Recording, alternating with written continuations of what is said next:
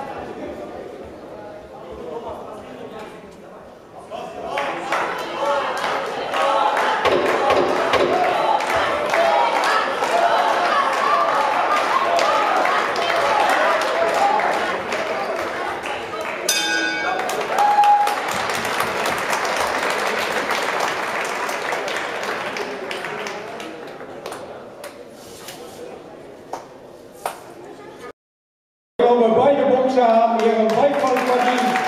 Dankeschön für diese Vorstellung.